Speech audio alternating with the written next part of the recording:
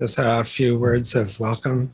So, um, we just finished a uh, uh, meditation in the dojo. Uh, it's very simple, uh, sitting and walking. So, um, that feels very American style, secular.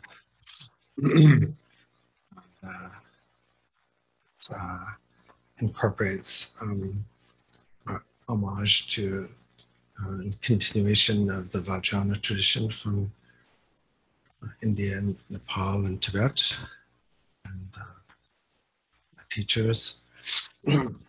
Actually, my preference is I really just like sitting meditation.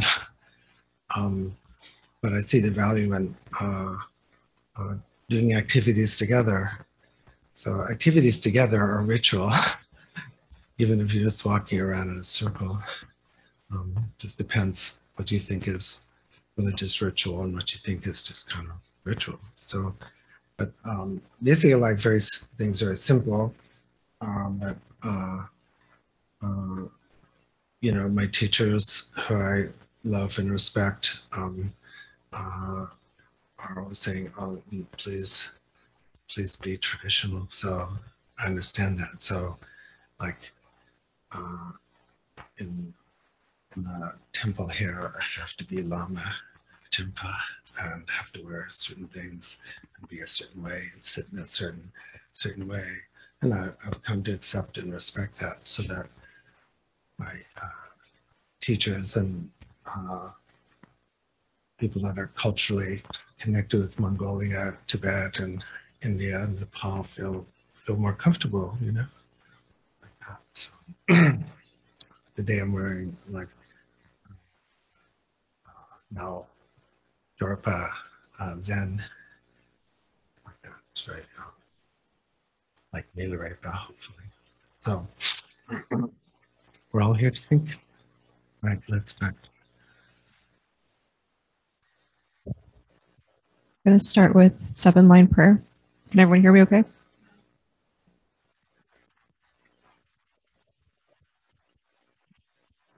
Hello? How it down? Still no? Okay. Still can't hear me, Sue? No. Okay. We're going to start with uh, seven line uh, prayer of Guru Rinpoche. Morgan Yoginu Chansam Pemage Sarjan Pola Yatsen Joji Nyodrune Pema June Du quadro mampocor, Kate ki Jesu dadruki, Shinji lob shir so, Guru Pema Siri Om.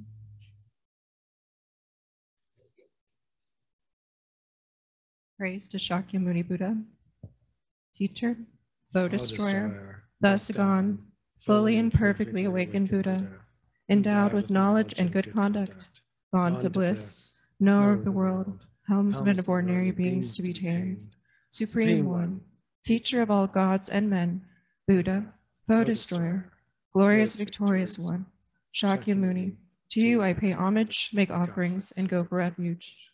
Teacher, foe destroyer, thus gone, fully and perfectly awakened Buddha, endowed with knowledge and good conduct, gone to bliss, knower of the world, helmsman of ordinary beings to be tamed, supreme one, teacher of all gods and men, Buddha, foe destroyer, glorious victorious one, Shakyamuni, to you I pay homage, make offerings, and go for refuge. Teacher, foe destroyer, thus gone, fully and perfectly awakened Buddha, endowed with knowledge and good conduct, gone to bliss, knower of the world, helmsman of ordinary beings to be tamed, supreme one, teacher of all gods and men, Buddha, foe destroyer, glorious victorious one, Shakyamuni, to you I pay homage, make offerings, and go for refuge. When you, chief of humans, were born, you took seven steps on this great earth, and you said, I am supreme in this world. To you who were wise at that time, I prostrate. Completely pure body, supremely fine form, ocean of wisdom like a golden mountain, fame that blazes in the three worlds. Supreme protector, to you I prostrate.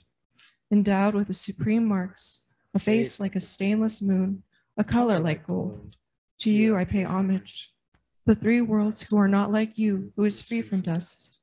Matchless one, endowed with knowledge, to you I prostrate. Protector endowed with great compassion, omniscient teacher, field of ocean like merits and good qualities.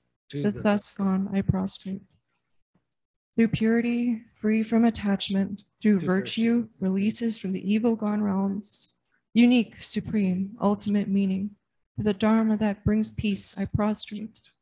From freedom, teaching the path, while abiding in the pure trainings, holy field endowed with good qualities. To the Sangha also I prostrate.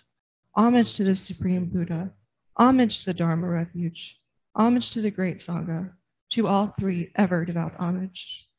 To all worthy of respect, bowing with bodies as many as all realms, atoms, in all aspects. With supreme faith, I pay homage. Do not commit any, non virtuous action. action. Accumulate virtue and goodness. Subdue your own mind. This is the teaching of the Buddha. Like a star, a mirage, a lamp, illusions, drops of dew, bubbles, streams, lightning, and clouds. Look at all conditioned phenomena as such. Due to this merit, having attained the state of the all seeing, and thereby subduing the enemy of faults, may I liberate migrators from the oceans of existence, stirred by the waves of aging, sickness, and death. I take refuge in the Guru. I take refuge in the Buddha. I take refuge in the Dharma. I take refuge in the Sangha. I take refuge in the Guru. I take refuge in the Buddha. I take refuge in the Dharma. I take refuge in the Sangha. I take refuge in the Guru. I take refuge in the Buddha. I take refuge in the Dharma. I take refuge in the Sangha. I take refuge until I am enlightened in the Buddha, the Dharma, and the Sangha. By the positive potential I create by listening to the Dharma, may I attain Buddhahood in order to benefit all sentient beings. May all sentient beings have happiness and the causes of happiness. May all sentient beings be free of suffering and the causes of suffering. May all sentient beings be inseparable from the joyful happiness that is free from suffering. May all sentient beings abide in equanimity, free from holding some close and others distant. Respectfully, I prostrate with my body, speech, and mind. I present clouds of every type of offering, actual and imagined. I confess all my negative actions accumulated since beginningless time and rejoice in the virtuous actions of all ordinary and noble beings. Please, Buddha, remain as our guide and turn the wheel of Dharma until samsara ends. Through the merit created by myself and others, may the two bodhicittas ripen and may I attain Buddhahood for the sake of all sentient beings. This offering I make of a precious jeweled mandala together with other pure offerings and wealth, and the virtues we have collected throughout the three times with our body, speech, and mind. O my masters, my yidams, and the three precious jewels, I offer all to you with unwavering faith. Accepting these out of your boundless compassion, please send forth waves of your blessings. Idam Guru Ratna Mandalakam Nirayatyami. Part of the Perfection of Wisdom Sutra. I prostrate to the Arya triple gem. Thus did I hear at one time the Bhagavan was dwelling on Mass of Vultures Mountain on Rajagriha, together with a great community of monks and a great community of bodhisattvas. At that time, the Bhagavan was absorbed in the concentration on the categories of phenomena called profound perception. Also at that time, the Bodhisattva, Mahasattva, Arya, Avalokiteshvara, looked upon the very practice of the profound perfection of wisdom and beheld those five aggregates also as empty of inherent nature. Then, through the power of Buddha, the Venerable Shariputra said this to the Bodhisattva Mahasattva Arya Avalokiteshvara. How should any son of the lineage train who wishes to practice the activity of the profound perfection of wisdom? He said that, and the Bodhisattva Mahasattva Arya Avalokiteshvara said this to the Venerable Sharadvatiputra. Shariputra, any son of the lineage or daughter of the lineage who wishes to practice the activity of profound perfection of wisdom, should look upon it like this, correctly and repeatedly beholding those five aggregates also as empty of inherent nature. Form is empty, emptiness is form, emptiness is not other than form. Form is also not other than emptiness. In the same way, feeling, discrimination, compositional factors, and consciousness are empty. Shariputra, likewise, all phenomena are emptiness, without characteristic, unproduced, unceased, stainless, not without stain, not deficient, not fulfilled. Shariputra, therefore, in emptiness, there is no form, no feeling, no discrimination, no compositional factors, no consciousness, no eye, no ear, no nose, no tongue, no body, no mind, no visual form, no sound, no odor, no taste, no object of touch, no phenomenon. There is no eye element, and so on and up to and including no mind element and no mental consciousness element.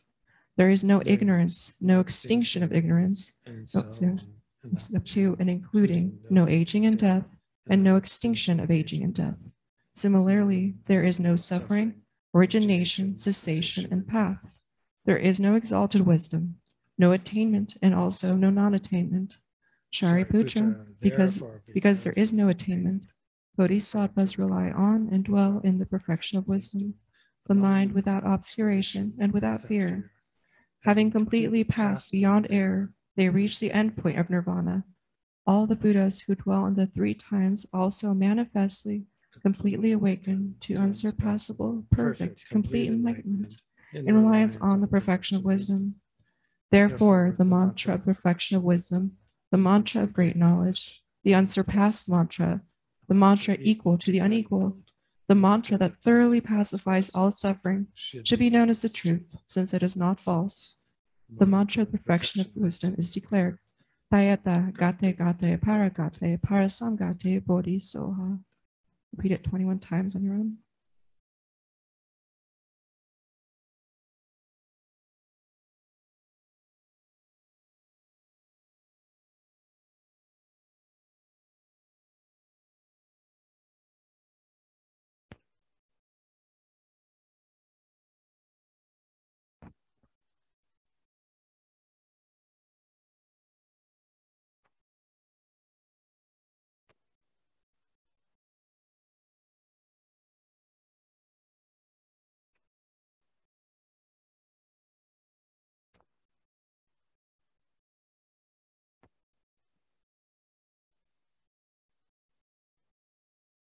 Ayata, Gate Gate, Paragate, Parasamgate, Bodhisattva. Shariputra, the Bodhisattva, Mahasattva, should train in the profound perfection of wisdom like that. Then the Bhagavan arose from that concentration and commended the Bodhisattva, Mahasattva, Arya, Avalokiteshvara, saying, Well said, well said, son of the lineage. It is like that. It is like that.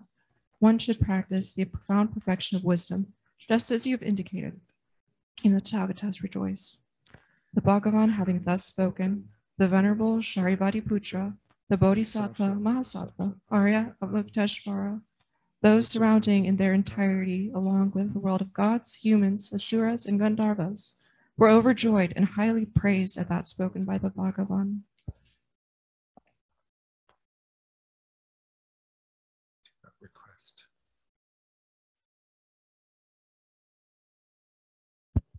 Request to turn the wheel of Dharma, to fulfill the needs of all beings at their various levels of understanding. We request that you turn the wheel of Dharma, including the lesser, greater, common, and extraordinary approaches. Thank you. Patty, could you get me a support cushion for my knee? See one of those little flat ones right by? Yeah, there you go.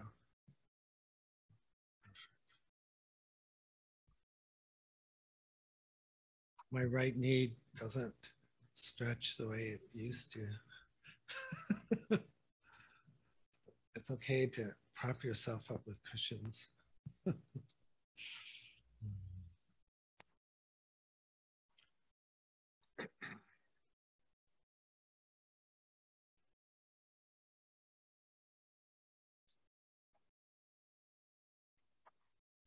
So as I mentioned earlier, I, I, I do have a bias towards um, yogic meditation.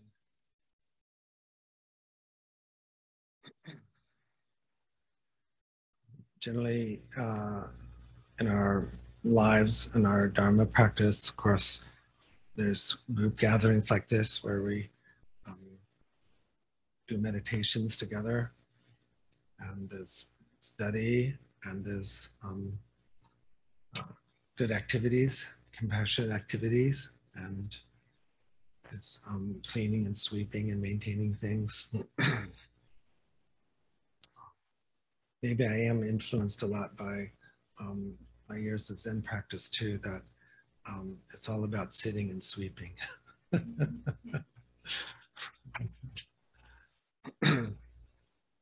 the, uh, however, uh, the most important thing that Dharma is about is um, experiential knowledge, experiential truth, the lived experience, the truth of our lived experience.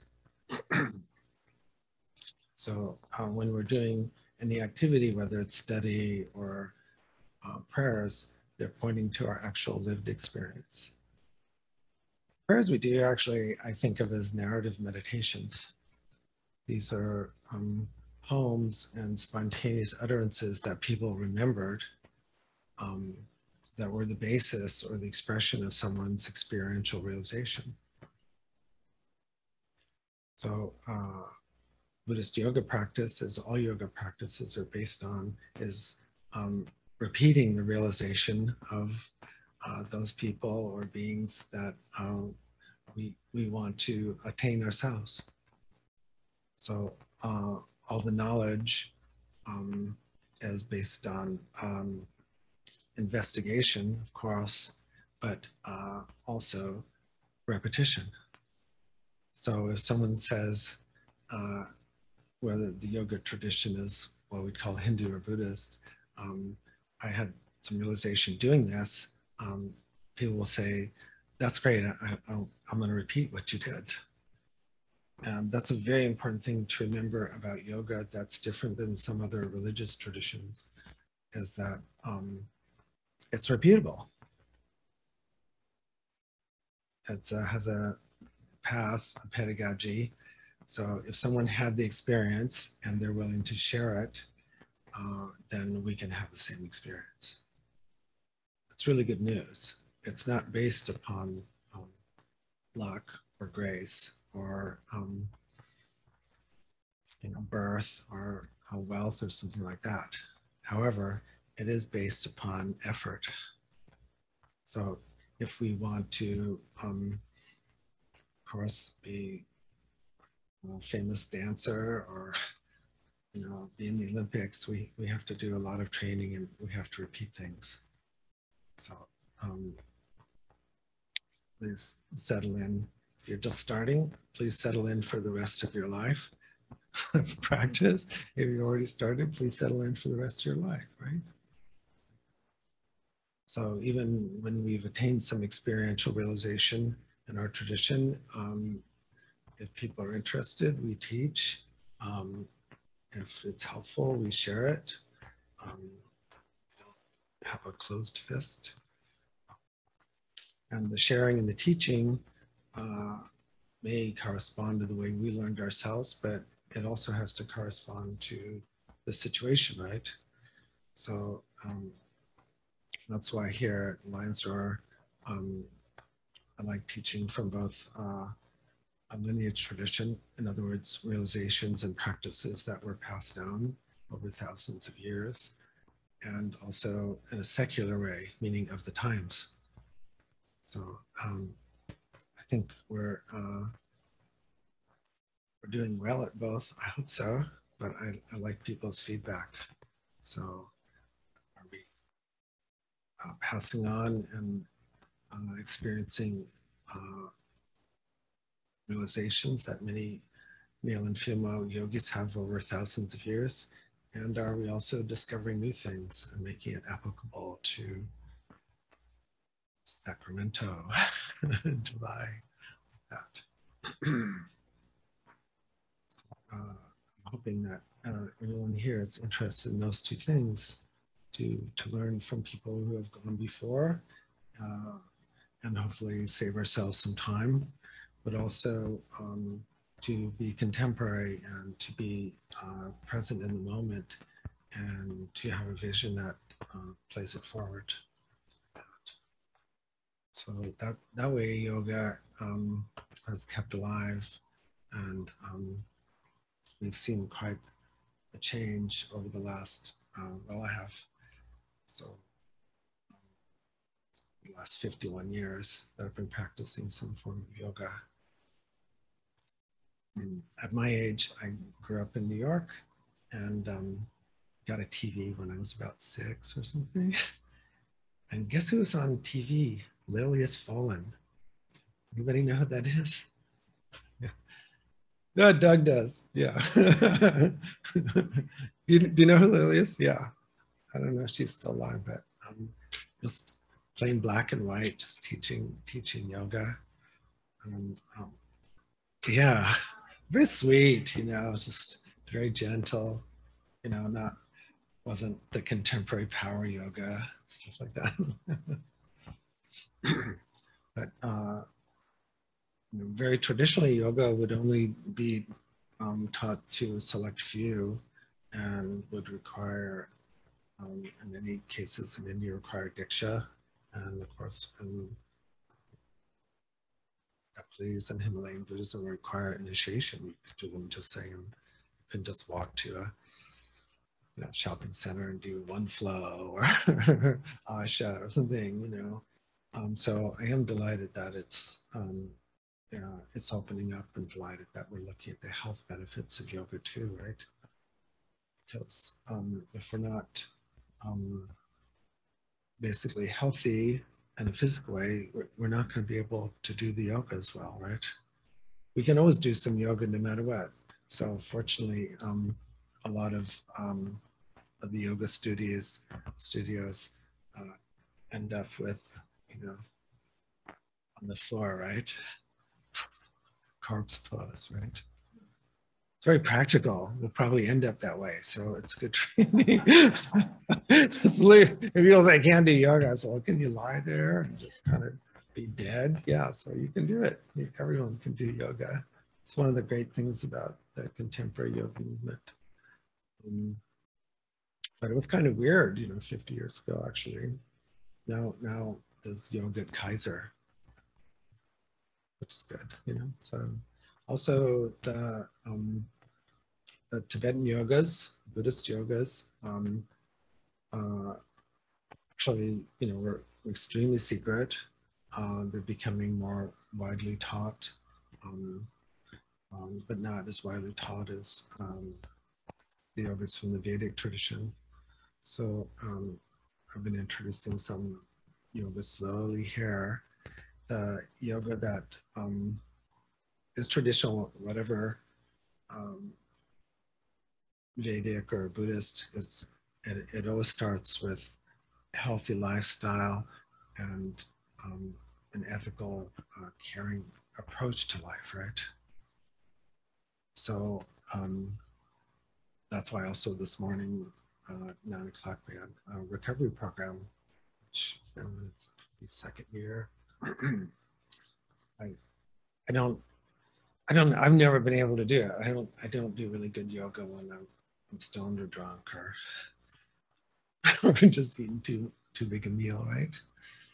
Um, so when, when we actually take care of our bodies uh, and we take care of our activities to be kind and to be helpful, then um, that is the foundation of the yoga practice. It was kind of different in the 60s you know it's like um you know teenager so um you know i didn't want lecture on ethics, you know, not eating meat or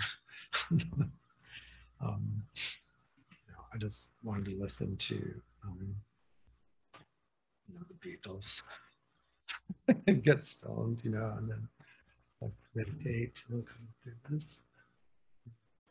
So now I realize it's very important to have um, a healthy lifestyle. It sounds kind of, it sounded at the time when I was 18 kind of boring, but I was really healthy, so I didn't care. I could eat In-N-Out burger, you know, every day, but now I won't.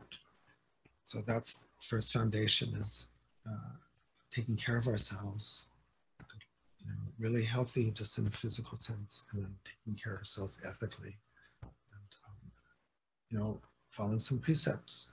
Actually, with that foundation, then we do the concentration meditations. So uh, the concentration meditations mean we're actually able, we're able to pay attention to what we're actually doing. That's a good idea, right? It's, a good idea. However, even when we're paying attention um, to what we're doing, um, uh, we have to remember that uh, attention is uh, also uh, appearing and disappearing. Attention uh, is uh, you're paying attention and then for a second you're not. You're paying attention and for a second you're not. This is really important. We're talking yoga now. Um, that is different than distraction. You see, distraction is um, we're, we're way off. but uh, the, the mind works through like blinking. So uh, because it works so fast, it appears that it's, um, you know, solid, right? But uh, it, it's on and, and it appears and then it disappears or withdraws. It doesn't die, but it's kind of like appears and disappears. It takes a little rest. See, like we're on and then here, and, okay, rest, here, rest. It's like breathing, you know, breathe in, breathe out. You're supposed to rest on the out breath, aren't you? So, so uh, it's hard to see that. Um, uh, we can see that with the breath, that this rhythmic. We can even see it in heartbeat. We can even see it in our energy systems and our chakras and our winds and channels, but uh, it's it's hard to see that uh, in the mind because the mind uh, uh, uh is is going actually so fast. It's likened to like a movie with individual frames that when you spin it real fast, it looks continuous. It looks like there's actually motion going on, right? So the concentration meditations uh, shamatha or Sanskrit word for you know just uh, calmness or um, samadhi, you know, oneness or samapatti, meditative equipoise. There's so many words like that in Sanskrit and yoga um, because we really have to slow down to see how fast the mind moves. So that's why um, I hope I'm getting famous for saying, look, at least at least medit you know, do do a calming, focusing meditation at least 24 minutes a day. Okay. Even then people bargain with me. like,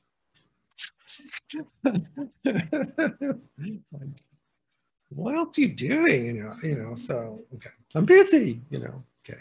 Yeah, you are. You're too busy. So we, we have to develop that attention quality. And um, I'm glad uh, Susan Farr's, uh, you know, leading um, uh, group through um, uh, Ken McLeod's book, uh, Wake Up to Your Life. That, uh, there's a lot of meditations in there, but it really comes down to, for Ken, paying attention. hey. However, even when we have concentration and focus and we're in rhythm with things, um, we actually have to look deeply. We have to still investigate.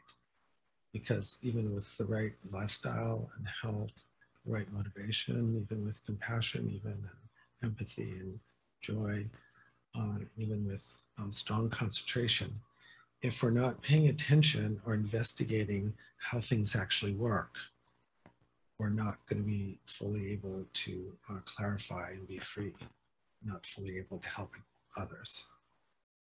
So um, concentration, uh, you know, so a little bit like I, I, I know how to drive my car so that, and I drive it nicely generally. That's one thing I don't have. I really don't have road rage. I have other kinds of rage, but I, I don't have road rage. I'm making, I'm making a spiritual claim for myself. So I have to be careful. Maybe I will on the way up. But anyway, so I, you know, and then I, I kind of know how to operate the car. I do not know how to fix the sucker. Okay. That's the wisdom mind to know how it works. I'm not the mechanic. I don't know how to fix it. So, uh, in uh, Dharma, um, to really be free and happy, to really come to full fulfillment as human being, we want to actually know how things work. We have a drive to know, actually. We like to know how things work. Um, but not only um, is it nice for us, if we really want to help others, we have to know how things work. If we don't have the work, we can just say um, something empathetic or unsympathetic. Um, that must be really tough for you. Um, sounds like you're really angry with your IT system right now.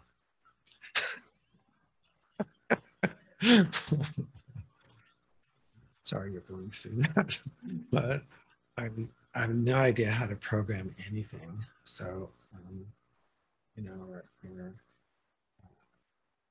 Know how to, you know, just kind of do very little, right?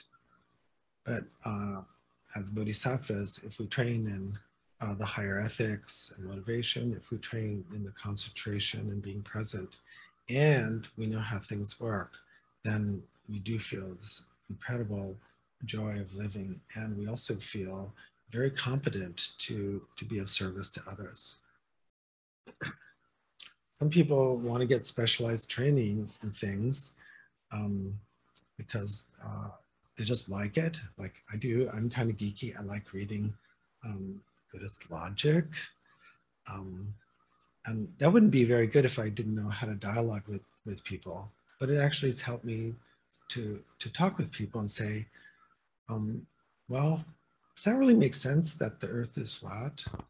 Or does it really make sense, you know, that somebody thought they won an election and they didn't? You know, it's not logical, right? So, didn't name any names, okay? You know who you are. so, you know, very, uh, so some people uh, can specialize in, in um, teaching yoga. Some people specialize in, um, you know, health issues, um, like nurse and physician and therapist and so forth. It takes a lot of special training. So we're here, you know, uh, Lions Roar to do as much as you want to do with that. If you want to lead a good life and not be a nuisance, then please uh, train here. If you want to be really present and alive to your life, please train here.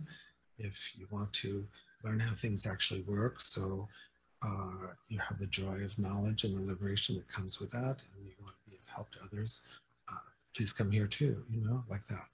When we do all three together and bring those all to realization, um, we get what you promised to do in the prayers if you were paying attention, you promised to be Buddhas.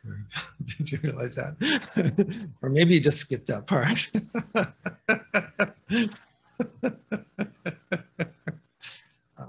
there's that. There's there's a kind of a little bit of escape hatch, you know, since um, there's the possibility of future lives, you could kind of play it forward.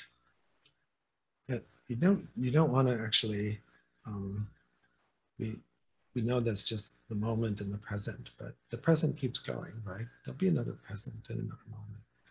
You're not going to lose out. People say, oh, you know, it's sound like some kind of Darth Vader. Star Wars too late for me. too old. No, it's not. Wherever you start is just right. Yeah. It's no worries. So um, I like to have some time for discussion and um, questions and complaints from the audience. And that requires people to speak into a microphone so they can be heard by others. And um, who's going to be the microphone person? You.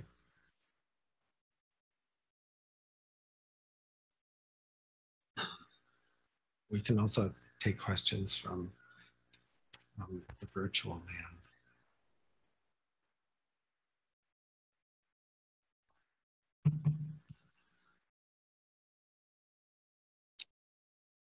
Oh, you get the first one. Good. And you have the mic. Perfect.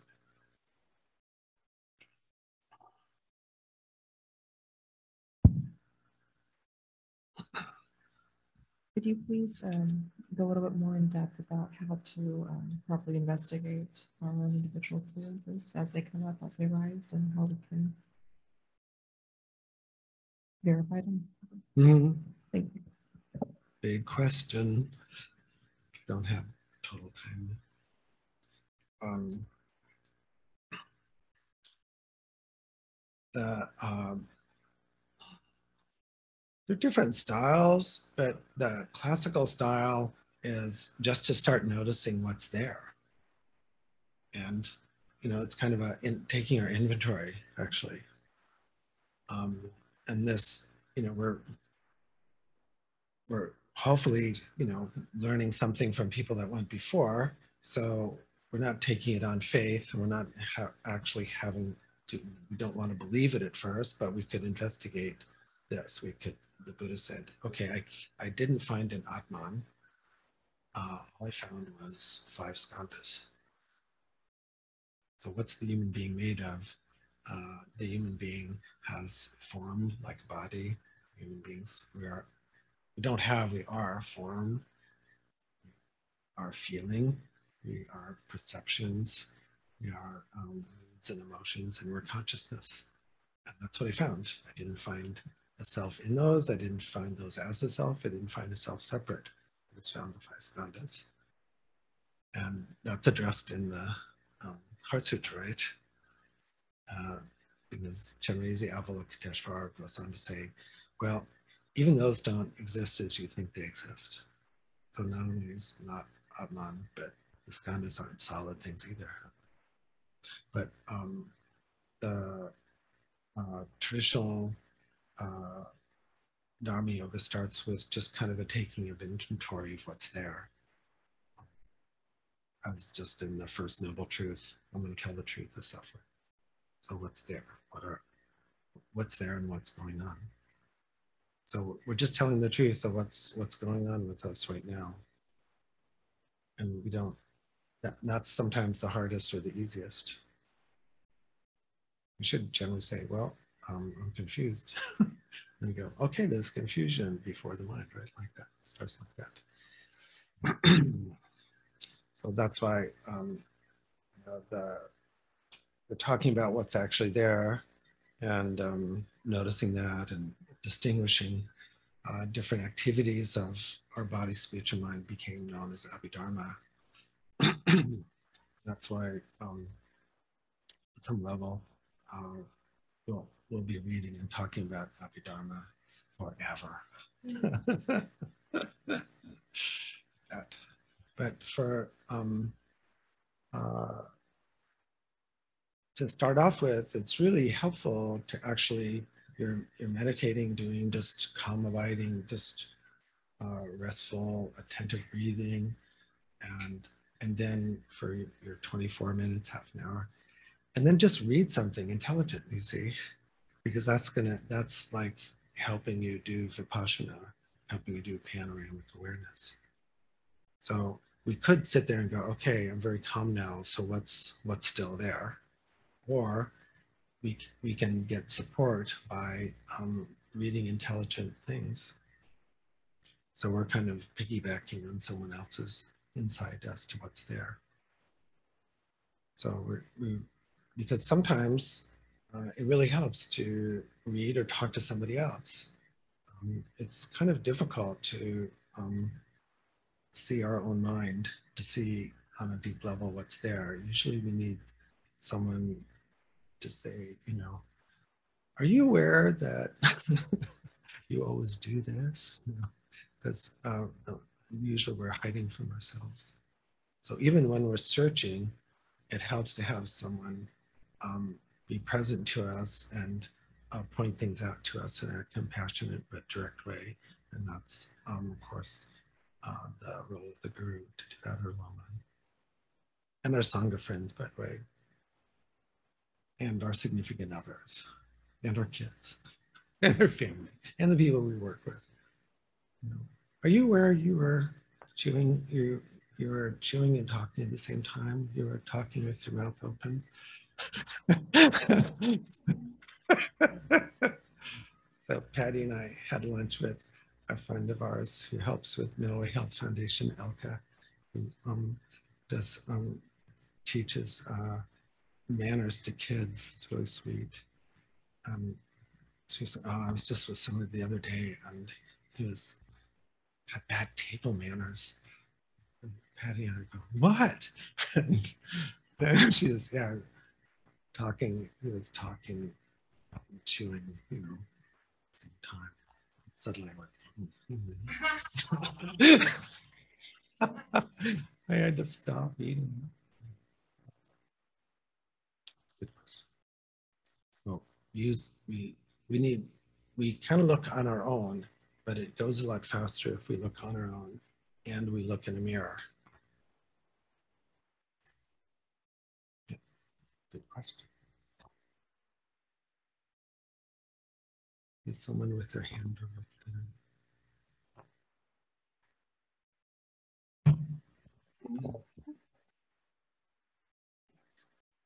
All right. Um, mine's more of a comment. So, taking inventory of our experiences, um, what I found is constantly questioning um, my motivations. Well, why did I do that? Why am I thinking this? What purpose is this going to serve somebody else?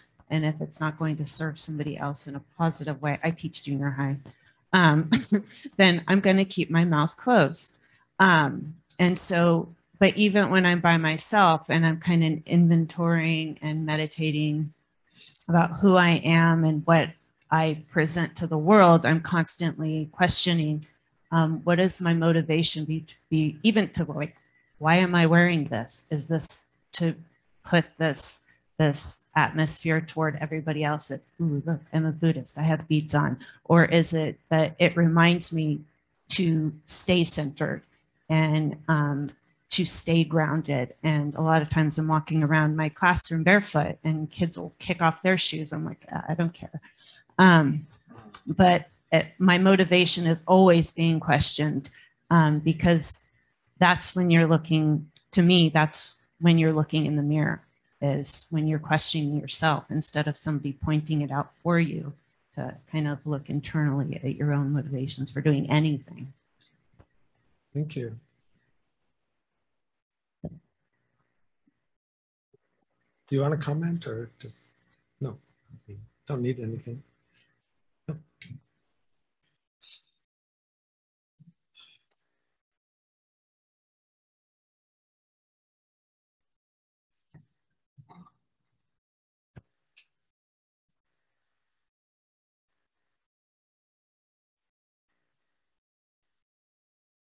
I don't think she wanted to comment. Yeah. Sometimes it's nice not to have anybody comment on our stuff. You know, you just get there. You also talked about the foundations. You talked mostly about um, foundation of, of form, but I wonder if you want to talk about the other foundations. I mean the skandhas? No, the foundations, four foundations of mindfulness. Uh, Because are Yeah. those not also fields of contemplation? pardon me. Are those also fields of contemplation, right? Um, the uh, four foundations of mindfulness that Susan's referring to is um, uh, a meditative exercise to, you know, pay attention to like our body and pay attention to feelings and pay attention to mental events and pay attention to truths. So it's one way to, um, you know, it's a, a structured Buddhist meditation style that, um, you know, has been particularly popular over the years. Well, it's another way to look into the mirror. Yeah, I mean, all the meditations are actually to look to look at the mirror, hold the mirror up to ourselves. Yeah. The different um, uh, different lineages or schools or people in the vast Buddhist tradition, which is not um, uh, small, as uh, you know the the role of how much how much uh, can we do on our own? How much you know teachings do we need? How much time do we need? What are the best practices? You know what's the role of the teacher? These are um, constant um, discussions a friend of mine calls um, buddhism the longest running debate society in the world so you know sometimes we say meditate on the five skandhas meditate on the four mindfulnesses, those kinds of things. Meditate on the Four Noble Truths, you know. Uh, in, in India, everything um, is memorized and still still is to a large degree, even though the texts were written down. But it's probably five or six hundred years later.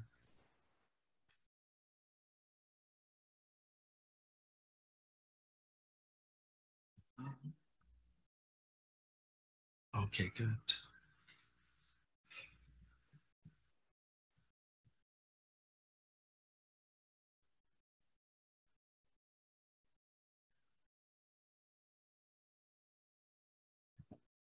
Um, early earlier today I was in the recovery group and I and you were talking at one point about um, details being so important in the way we share, you know, details versus talking in generalities. And then you and then you said tick tock like time's going forward like it is, like we all know. But you know, I I, I when I when you said that I I just looked immediately like how that's kind of the way I, I talk in generalities. And I think I drive people nuts in a way, you know, because, but I just, because, you know, instead of being straightforward, they don't know uh, what I'm trying to get at maybe, or gets confused perhaps, but, but I just wonder how, how a person who's, um, you know, not used to talking really directly, because as you know, I'm from Minnesota. so is my excuse, but it's really a valid one if anyone knows Minnesota people. But, um, but I mean, I'm sincere. I, am sincerely wanting to know about about uh, talking in details without without blame. Or, you know, like how we can be real specific about what's going on within us without blame. I guess if we tend to act be kind of a victim orientated person. Okay. That too big of a thing to ask? No. Um, oh no, usually don't, I'm not from the Midwest. I'm from New York, totally different. But I don't know. Midwest is usually I'm fine, thank you. I mean, it's, I don't know. So, so you might not even say I'm upset. You're just saying, fine, thank you. Um, I think the way we use language is both to reveal and conceal. So, you know, if you say, I'm fine, um, then you may be, but uh, a lot of times, you know, you're giving very little information. Or it's just a, you know, social trope. So, you know, it's a pretty strong boundary, right? Are you doing fine? Okay, fine. See you. Um, if you add a little bit more, I'm upset, then that's you're letting people in a little bit more. Um, if someone knows this really well and we say are upset, they, they may be able to figure out what that is. But lots of times when when we're just talking about a mood, um, it's a it's a difficult middle ground um, because um, we may be uh, wanting people to just kind of go away, almost to go away, or we may want people to get closer and investigate, right? So a lot of times in my role as a therapist, I'll say when we're just putting out um, an overall thing, it's it's a little bit like stay away, come closer. So it's confusing to the outer world because they're not sure to leave to leave us alone or to, you know, ask like, well, what are you upset about? And sometimes we want it that way. We, people want to confuse the audience. you know, I'm upset, and you know, I'm not going to tell you why, and uh, you know, I want you to find out or whatever. But um, the the clearest communication, if it's safe and it's possible, saying, I'm upset about this, you know. I'm upset that, you know, you didn't um, go to the store when you said you'd go to the store, right? Just very specific. Gives it, then you give room for the person to address it. In other words, you're addressing the behavior, but you're also talking about your own response to it. But a lot of times people don't feel safe to say that. So they, they don't even say I'm upset. They just um, humble. Poor communication generally would be, um, you know, can't believe you didn't go to the store when I asked you to. You're such a selfish, incredibly narcissistic jerk. why, why should I expect you would go this way? In a way, that's clear communication that you're blaming and um, dissing someone, but um, it may not, it may not be the result you want. It's really hard not to do that, right? When we're angry, like, also do the personal jab. But if possible, um, I would say to be specific and in general, um, Buddhist yoga is very specific. It's very spacious when things are general and they need to be general. We're going to say, in general, try to be kind and compassionate and not be a jerk. But it is important to then, well, what does that actually look like?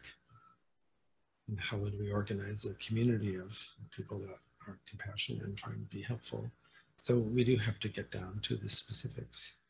So people that have trained at, at actual Dharma centers like here um, realize quickly that, you know, um, even though we could say the vision is as vast as the sky, like uh, Guru Rinpoche, uh, we do want your activity to be as fine as barley flour.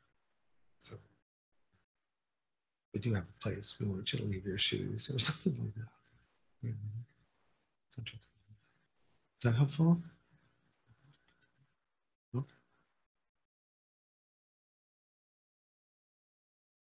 I was really on it.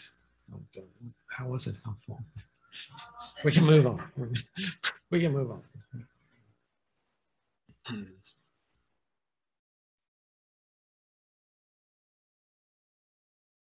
You need the microphone. Oh, you're going to get it. You're going to meet her halfway there. Sure. How do we um, how do we be compassionate to someone who's not direct?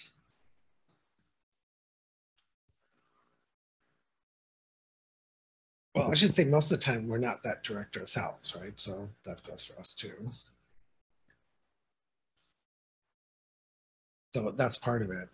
It's a big part of compassion is realizing, wow, I'm accusing people of not being direct, and lots of times I'm not direct either. So we're in the same elevator.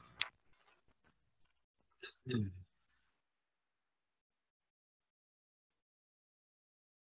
Usually, um, we have to um, let people know we um, are available for direct communication and that we're available for that and we're not going to then take revenge on them. So, and that's a hard one, right? Because people go, um, okay, just tell me how you really feel. And then they do. And then it's really hurtful. And then then we get hurt. And then we tell them, well, I really think you're stupid too. And, you know, so um, even around direct communication, there has to be, um, you know, the, a sense of helpfulness, or or it's just like a, you know, it's a fight, right? Which is a form of direct communication in a sense, but um, generally fights don't end up in the result. They don't end up in clarity. Um, nasty fights, it is. There, there's fair fighting. That's when some, you know, that's that's called real, real debates, which you know, hope we have here once in a while. It's fair fighting. But in general, both people have to have some agreements about being direct. Um, you know, just go broad focus and um, in uh, medieval India, use that term, Buddhist and um, Vedic folks, um, the monarchical folks could debate because there was a very common language. Um, and th- there were some basic agreements on what's interesting, you see, even though there was differences about conclusions. The um, both groups um, were passionately interested in how one gets to know something, how to establish valid reasoning and valid knowledge. And, that really, from my point of view, that really hasn't happened in any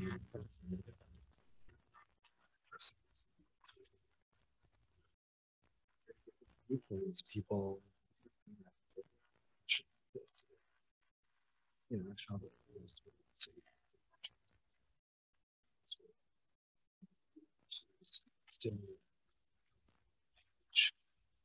perception and investigation and accept some rules of logic. It's pretty rare. You, you really, it's hard to have a discussion or debate with someone who's really doesn't accept any common ground at all. Uh, and that's part, part of uh, our task. I see a task at um, Lions Roar to work to the place where we can have discussions with people that we really don't have a lot of common ground with. I mean, we do as human beings, but it's it's really easy to not have common ground around, you know, uh, all the hot button issues that, that are present today. Right? Thank you. So look for common ground. Pardon me. So look, for, Look for yeah. so look for common ground. I I think it, it's important to go in, you know, do we have any common ground? If we're asking for direct communication, do we have any common ground to start with? Uh, and if we lose that, it'll probably go sideways. Thank you. You're welcome. So, like, just a little bit, you know, um, sometimes I, I've been told and it's worked because I've tried it. Um, if you talk to some people about gun control, you're immediately going to get a black and white kind of situation. But um, sometimes if you talk to people about gun safety, so let's approach gun safety. We're not, we're not talking about taking guns away. We're, we're just talking about gun safety. Uh, so even any people that are, um, you know, uh, you know, very much um, Second Amendment rights issues, yeah, they're interested in safety too, right? So that could be a common ground. Smart.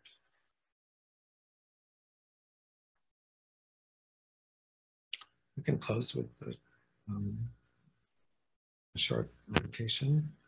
Do people want to want to close with a short meditation? We should have a short meditation, shouldn't we? Should, yeah sometimes the discussions are so passionate here that we because we do have a lot of common ground. Get comfortable.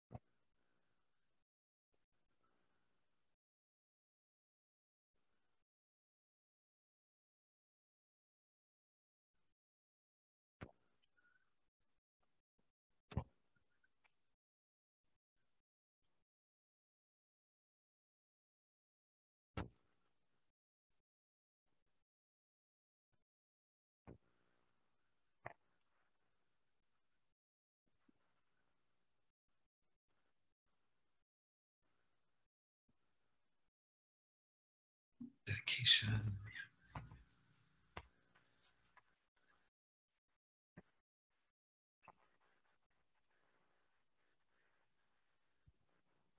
Dedication. To the merits of these virtuous actions, may I quickly attain the state of a Guru Buddha and lead all living beings without exception into that enlightened state. May the supreme jewel bodhicitta that has not arisen arise and grow, and may that which has arisen not diminish, but increase more and more. In the land encircled by snow mountains, you are the source of all happiness and good. All powerful Chenrezig, Tenzin Gyatso, Please. please remain until samsara ends. May the teachings of the Buddha flourish, and may the upholders of the teachings remain forever. May all migrators achieve happiness, and may they fulfill all their temporary and ultimate goals. Losang, magical display of the deep awareness of all the victorious ones, merciful giver of a stream of profound and vast instruction to the fortunate migrators. Please remain always unperishing, unchanging, unfading. Avalokiteshvara, great treasure of objectless compassion. Manjushri, master of flawless wisdom. Vajrapani, destroyer of the entire host of Maras. Tsongkhapa, crown jewel of the snowy land sages. Losang Dragpa, I make the request at your holy feet. Thank you, everybody. I think we have some snacks, maybe lunchtime snacks in the dojo afterwards. And I'll be I'll be in the library office if people want to say hi later. But we don't have any food. Oh.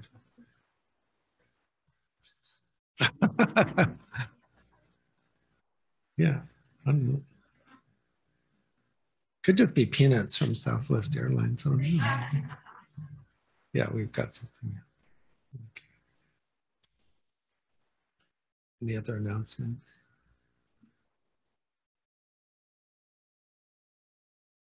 Do you want to say anything?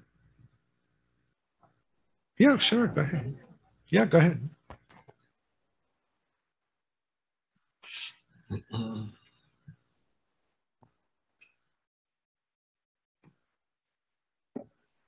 Hi. Um, the end of July, the 30th and 31st, that weekend, um, we have a special teacher coming, a woman by the name of Venerable Tenzin Choki, who is an old friend of Lama Dharma, uh, Lama Dharma, Lama, Lama Jinpa's, and also a, a friend of, of mine, and probably many of you may know her. Um, she's giving a two-day workshop on cultivating compassion. So there are, uh, it's a small group. We're limited it to 20, but there are a few slots still available. Um, and if you get our newsletter, um, you have probably received um, the information about it. If you don't get our newsletter and you're interested in finding something out about it, let me know and I can forward the newsletter to you. Um, but it's um, pretty rare opportunity. She's a wonderful teacher and uh, really funny and bright and just a, a, really, really joy to be around. So anyway, it's a two-day work, workshop the end of July. Thanks.